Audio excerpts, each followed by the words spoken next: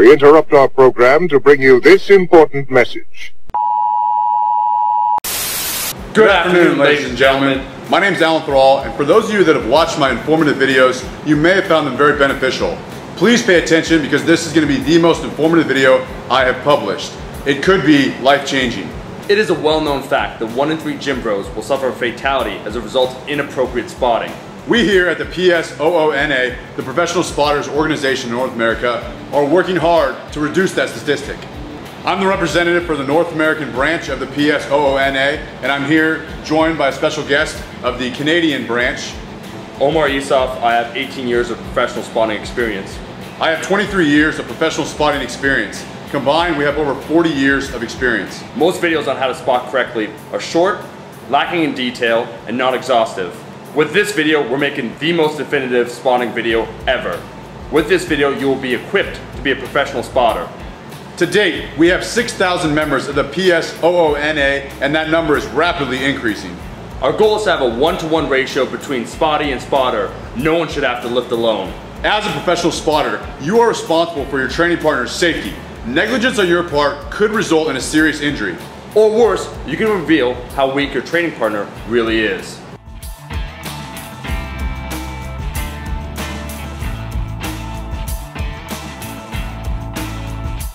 Without further ado, it's time to cover how to spot. When spotting the squat, it is important to properly warm up. Zercher squats are an excellent exercise for a spotter because it mimics the movement. I would suggest sticking with lighter weight, higher reps. Three sets of 10 works best. As a spotter, make sure you are equipped with weightlifting shoes, a belt, chalk, and sunglasses.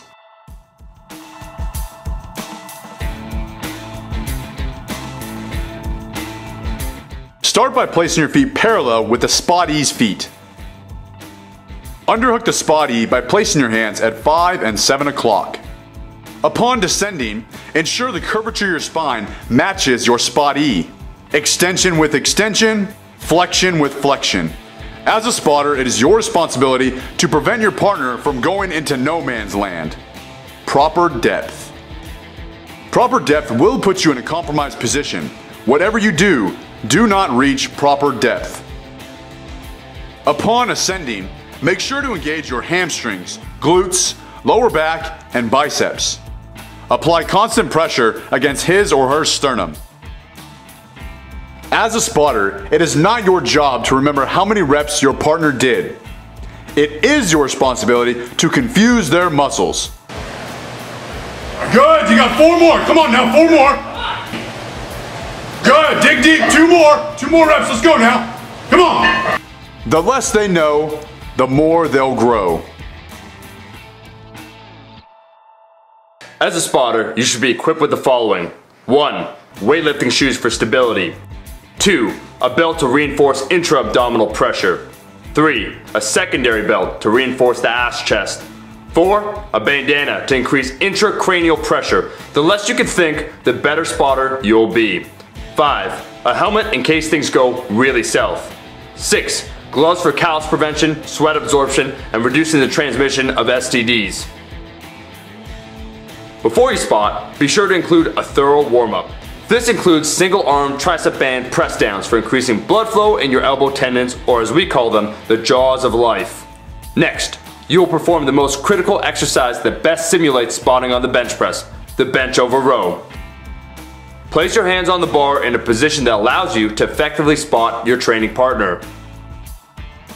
Make sure to 1. Keep your T-spine extended. 2. To maximize spotting strength potential, torso angle should be at 30 degrees. 3. Using your lats, trapezius, rear delts, biceps, brachials, and most importantly calves, row the bar to nipple height. Keep the bar path vertical. Anyone that has reached an elite level bench press of 225 pounds or higher warrants the use of lifting straps. Once your spotty is in place, ensure that your scrotum is directly perpendicular to the bridge of the nose. This will keep them alert. Now, it is time to execute the spot. Begin by forcing complete protraction of your spotty shoulder blades by pulling the barbell as vertical as possible. This is for maximizing rotator cuff recruitment and full range of motion. It is critical while you spot to enhance your mind-muscle connection. Think less about the safety of the spotty and more about the muscles you are recruiting. At no point should the spotty be lifting any more than 50% of the load. This is for his ego and your hypertrophy. Traditionally, the Swiss method of spotting on the deadlift is from the sides. This, however, puts your back in a compromised position and can lead to disc herniation and paralysis.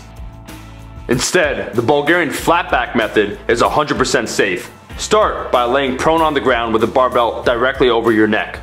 Simultaneously take a stance that places your feet just outside of shoulder width. This position will maximize power and stability. Begin by exclusively using your rotator cuffs to hoist the barbell in proper position. Both pairs of forearms should now be perpendicular to the barbell. As your spotty is deadlifting, begin to press the barbell vertically into the lockout position.